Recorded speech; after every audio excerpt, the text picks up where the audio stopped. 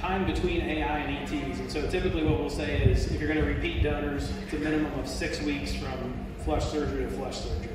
And so the question is, well, why, why is that? well, how quick do you turn cows around on flushes? Oh, I do let that if it's conventional, we'll have natural cycle and go up after Yeah. forty-two days. Yeah, yeah. So 42 days on a cow, and that's not surgical. That's standing in the chute going through the cervix. Right? So these are animals that we're, we're programming them, we're, we're flipping them on their back, we're cutting them open, we're doing surgery.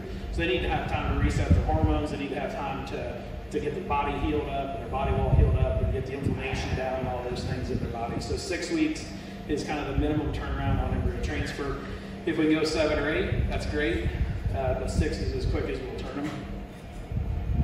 Um, and there was a lot of work. There was a there was a uh, there was a years many years ago. If you ever get the chance to meet Dave Osborne, um, he's one of my best friends in the world and mentors in life. So get a chance to see him, meet him, do that. Um, he's an Australian, so he used a lot of colorful adjectives. Um, so just have to ignore that. He's a wonderful guy. Has, has a world of experience. Been in the business for 50 years. And so years and years ago, when this whole game started, there was a place called Grange over there Australia, and they were flushing those, and they started off flushing them in three weeks, and four weeks, and five weeks, and six weeks, and they did they did that for 50,000 flushes, something like that. And that's where they determined six weeks was the point where if you got less than six weeks, results dropped off. You had to wait six weeks in order to make it um, to make it worthwhile, if you will. So that's where that data came from.